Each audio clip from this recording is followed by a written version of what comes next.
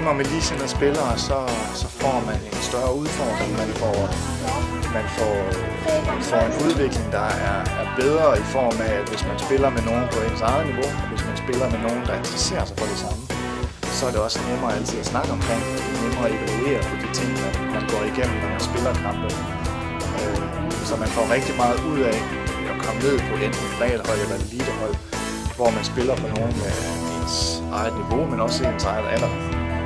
Så man har nogle ting til fælles, som man kan snakke omkring e-sport.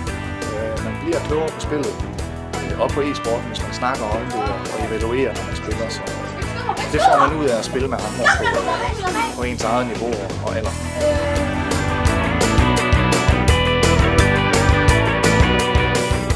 Det at komme ned i en forening øh, og spille frem for at sidde derhjemme, det er her, der får rent faktisk en diskussion i, hvordan du øh, forbedrer dig selv. Og sidder man derhjemme, så har man tendens til at bare sidde og hygge lidt, bare spille. Useriøst hele tiden. Hernede, der sætter vi nogle rammer for, at det er det her, vi gerne vil have, I skal lære, fordi det er sådan, I bliver bedre.